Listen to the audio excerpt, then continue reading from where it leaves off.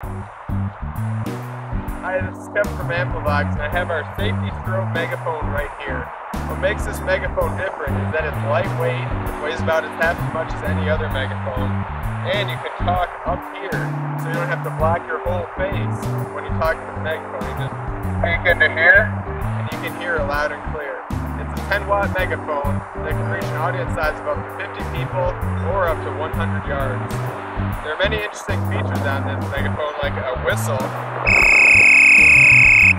an emergency siren,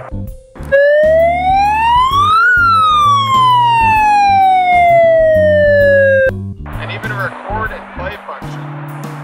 If you slide this over to the record, and then you press the record button, you can record your voice, and then if you slide it back to play, you're able to communicate your message over and over. Burn it to the starting line. Race starts at 8 o'clock. Danger, Will Robinson. It runs on 8 AA batteries and can last up to 30 hours. There's a battery power meter in the back where it says high, mid, and low, and it'll alert you when you need to change the batteries. Another interesting function is the flashlight option that's in the front. If You slide this over, you won't be able to see it during the day, but there's a flashlight that can help you in emergency situations. Another function is the warning light in the back. You put that on and the back will start flashing.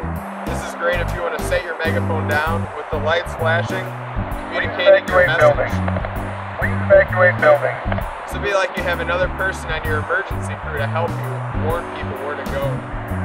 Amplivox, extend your voice. Amplivox, extend your voice.